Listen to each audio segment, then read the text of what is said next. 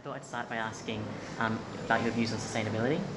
Um, you, um, I think we were we were reading about your work, and it seems that you were concerned with sustainability and ideas behind that before it was the fashion and before it was known to be necessary.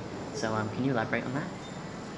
Um, yes, well, um, yes, it certainly has become something of a sort of not only a fashion, but it's become almost a uh, uh, almost a religion, or a, you know, a sort of sect, or a, you know, kind of enthusiasm that um, somewhat divorced, I think, at times from its roots. It acquired sort of political and uh, nanny state sort of uh, connotations.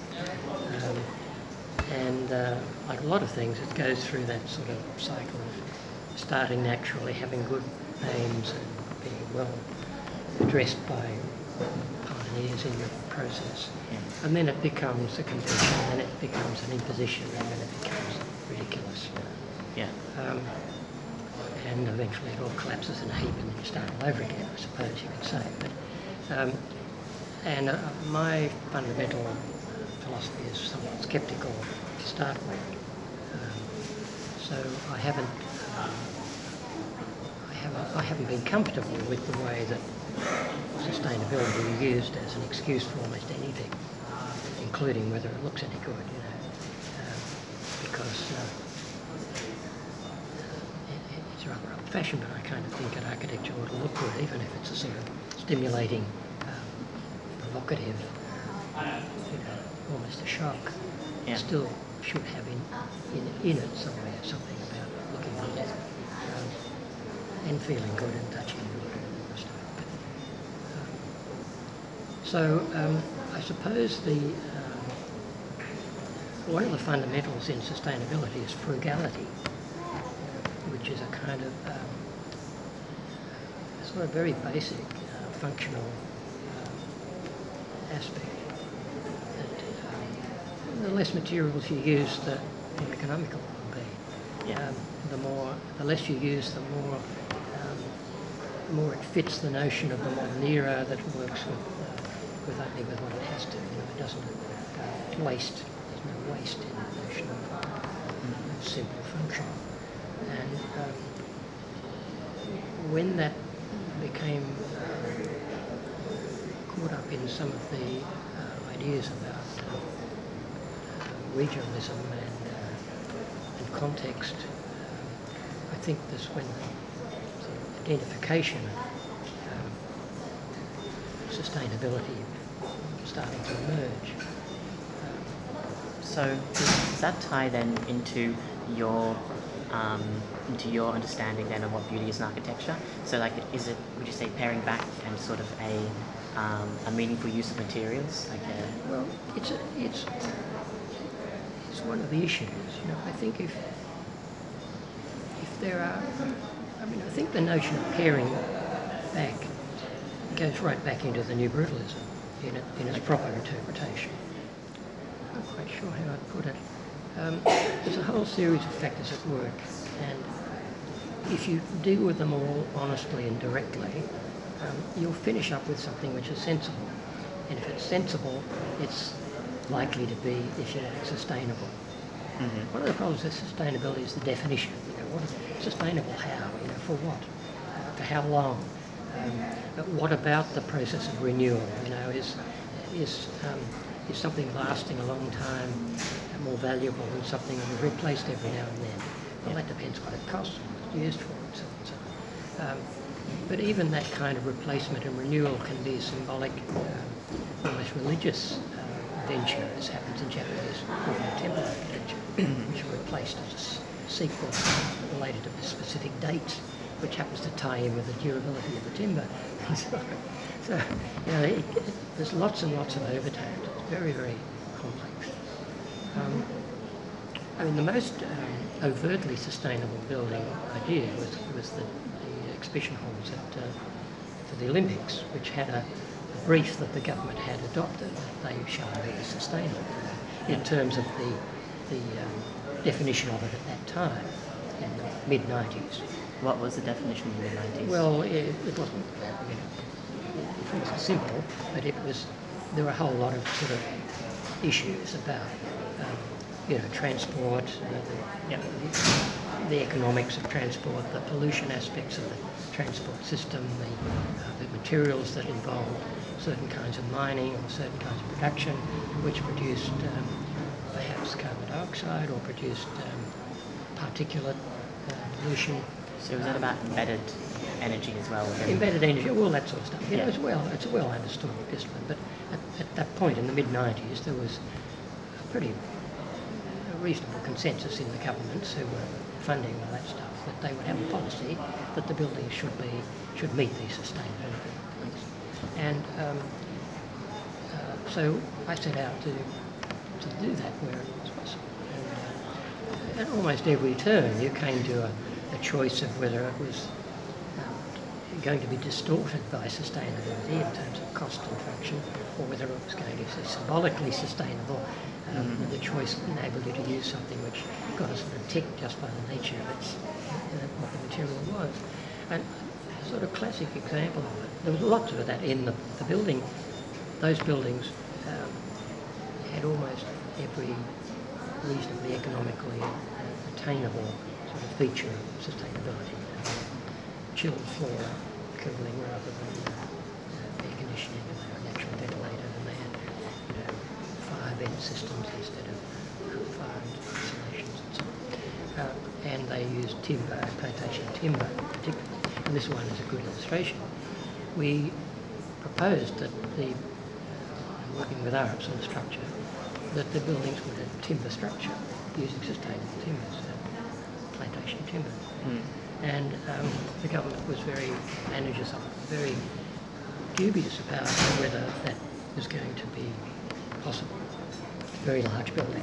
Yeah. And uh, so it went to the point where um, all the sources were analysed and so on, and we did two sets of documentation, one for timber and one in steel, um, sufficient for the tenders to be established.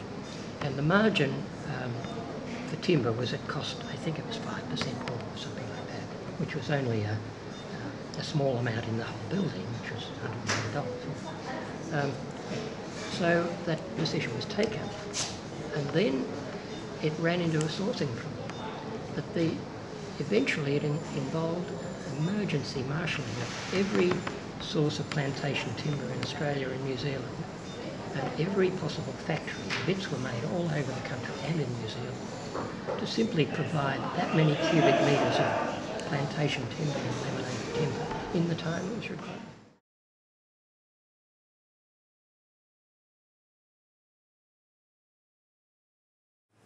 If you're going to be a practitioner through a period, you need to have a broader view than what is the current fashion time, the current business.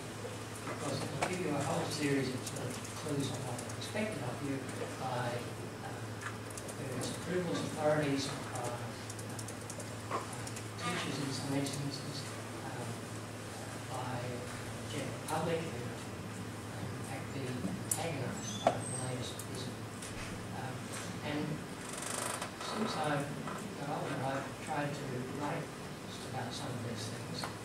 Um, and uh, my current interest most formative is trying to recast the notion of the modern in terms of uh, looking at it as the modern era, as a as an era like the classical period, um, not as uh, a series of uh, short theoretical ideas that somehow started when classicism ran out of steam.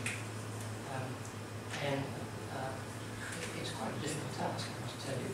But um, I think there's something in it that if you think of the age of reason um, as uh, creating um, uh, a new era of uh, intellectual analysis of humanism um, and of engineering um, it followed with that kind of um, explosion of uh, reassessment of the tenets of classical religion and the, uh, aristocracy and uh, the conventions of um, thousands of years since primitive times, um, it came to a, a point of um, suddenly breaking out from that. And um, the steam engine and the road and the, the um, electricity, the telephone, and um, flight, and all these sorts of things, all happened in what we should recognise as the modern era. And I think you have to think of architecture in that context, um, so that you get uh, puzzling periods like, uh, say, the middle of the 19th century, where the uh, Palace, uh, glass house, was built at the same time as the House of Parliament uh, in sort of high Victorian Gothic, um, where these things are sitting side by side in the same culture.